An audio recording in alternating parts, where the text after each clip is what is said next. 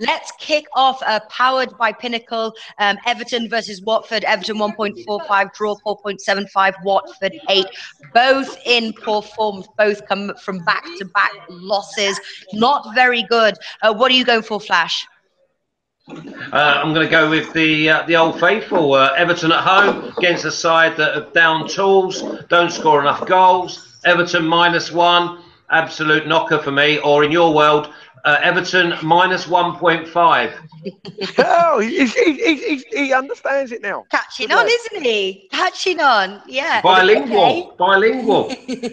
All right, exactly. So, okay, so you're going for the minus 1.5. What are the odds for that? So they've got to win by two goals or more, bearing in mind that Watford have only, sorry, Everton have only, that haven't scored in the last three matches. You still feel okay with that bet?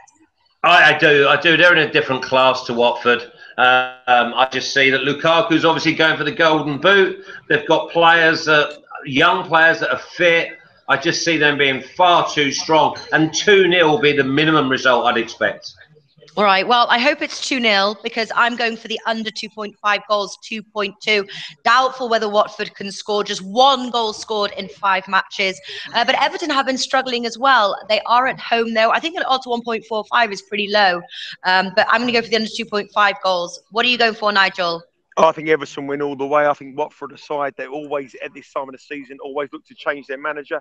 I don't think the manager here is, is, is going to escape his job. I think he's still under pressure.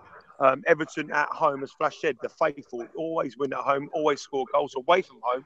They're not so great. You know, everyone looks at their recent reform, but they went to Chelsea, and Chelsea done a good job on them uh, last last time out. But I think Everton will win this. I agree with Flash.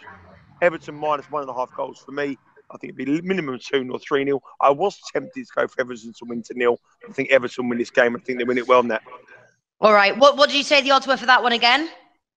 Well, uh, minus one and a half goals. Yeah. Flashman, what we got? 2.1? Yeah, 2.1. In flashes.